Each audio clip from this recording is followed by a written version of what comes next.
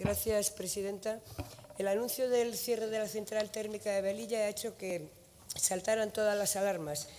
Y sabemos, sobre todo en Palencia, que el, cierre, el daño que va a producir el cierre de la térmica en esa comarca va a ser un daño irreparable. Una comarca que ya está perdiendo desde hace mucho tiempo población y empleo. Como dicen los vecinos propios de los vecinos de la propia zona, sin las minas hemos podido de alguna manera sobrevivir, pero sin la térmica ya no. Desde luego, el anuncio también ha hecho que haya habido mucho ruido mediático en esta comunidad, con muchas declaraciones del Gobierno de la Junta, algunas de ellas me quedaría que sorprendentes. Pero por encima de este ruido mediático, lo que ha dejado bien claro el anuncio del cierre de la térmica es la mala gestión, la nefasta gestión que se ha hecho en la cuenca minera de Palencia. Los señores ustedes del Partido Popular llevan gobernando en esta comunidad 26 años, años durante los cuales se ha producido el desmantelamiento del sector del carbón. Y esta comarca se ha quedado con una economía verdaderamente desastrosa y además con falta de servicios.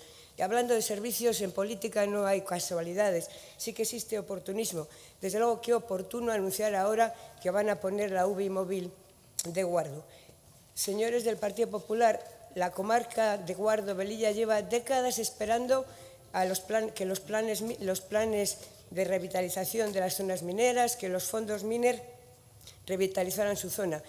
Y se preguntan dónde están las empresas alternativas, dónde están los parques tecnológicos o dónde están las inversiones que iban a ser productivas. Lo único que se ve allí, lo único que está, además va uno entra en guardo, antes de entrar y lo ve, es una mala gestión de los fondos MINER, ese viaducto inacabado que incluso sus papeles si no me equivoco, andan en el juzgado. El cierre de la térmica de Belilla puede ser la puntilla para la cuenca minera. Por eso les preguntamos qué va a hacer la Junta de Castilla y León para evitar el cierre de la, de la térmica de Belilla y también pedimos que se dé cuenta en esta Cámara de esas actuaciones y del resultado de las mismas. Muchas gracias. Gracias. Para contestar tiene la palabra la consejera de Economía y Hacienda. Muchas gracias, presidenta. Señora Pablos, como bien conoce usted, es competencia del Gobierno de España aprobar o no el cierre de una central del tipo que sea, en este caso térmica, de más de 50 megavatios. Lo que sí que le digo es que no vamos a hacer lo que han hecho ustedes en el Congreso. De ninguna manera vamos a hacer eso. Y eso ya se lo puedo adelantar, porque qué poca vergüenza que venga usted aquí a preguntarme por esto, cuando ustedes en el Congreso, su grupo, el Grupo Parlamentario Socialista, el Partido Socialista ha aprobado una moción de Podemos por la que condenan al cierre de las térmicas al año 2020.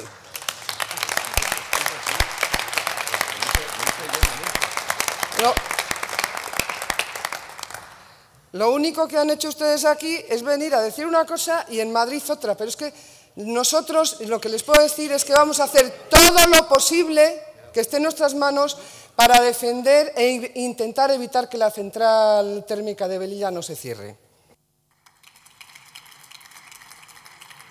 Para un turno de réplica, la señora Pablos Labajo.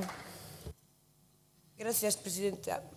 Mire, de su intervención, señora de Olmo, solo he sacado en claro una cosa, que esa famosa... Acérquese PNL, el micrófono, señora Pablos, hacia usted. Gírelo hacia ah, usted, ahí. Que esa famosa PNL del 24 de octubre en el Congreso de los Diputados se va a convertir en la PNL por excelencia de la historia del parlamentarismo español.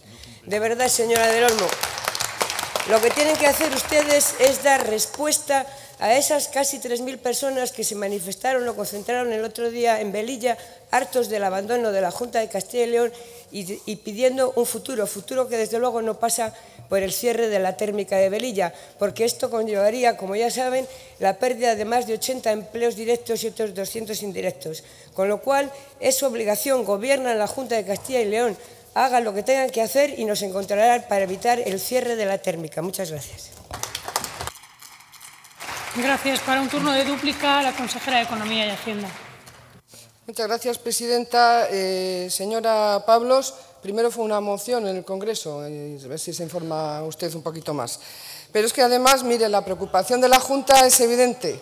Se ha pedido una reunión con el ministro, que es el que tiene la competencia, y también vamos de la mano de un gobierno que no es precisamente del Partido Popular, sino del Partido Socialista, que es el gobierno asturiano, que está en las mismas circunstancias que nosotros. Mire usted, nosotros defendemos, por supuesto, el sector de carbón, como siempre lo hemos hecho, pero para que perviva la minería del carbón tiene que haber, evidentemente, un sitio donde se quemen. Y estamos defendiendo también desde siempre que no se cierren las térmicas. Ustedes no, o sea, que no vengan aquí a preguntar. Lo que queremos es que ustedes, el Partido Socialista, lo defiendan aquí y en Madrid, que apoyen al Gobierno, que tiene que hacer una norma, y de hecho hay un proyecto, que es un, proyecto de decreto que se ha enviado a la Comisión Nacional de Mercados y, de la Energía para eh, evitar el cierre de las térmicas y poner más trabas. Pero es que ustedes ni siquiera están en línea con el Gobierno para poder aprobar un Real Decreto Ley, que es lo que salvaría en estos momentos y lo que impediría el cierre de centrales como Velilla y Lada. O sea, que mire usted, convenza a su partido, y le puedo decir a quién, que está negociando con el Ministerio, para que, por favor, apoyen en el Congreso lo que ustedes aquí defienden. Es lo, único que pido al Grupo Parlamentario Socialista, que el señor, eh, el señor Tudanca convenza a su líder para que defienda lo que hace aquí, que lo defienda en Madrid y que por favor reviertan esa decisión que está siendo tan lesiva para los intereses de Castilla y León, para los intereses del empleo de amplias zonas como las cuencas mineras. Y de paso, eh, que apoyen su grupo parlamentario el Real Decreto Ley que creo que han estado negociando y que no hay manera que salga. Es lo único que les pido, que trabajen con nosotros, que trabajemos juntos para impedir que se cierre la central térmica de Velilla. Muchas gracias.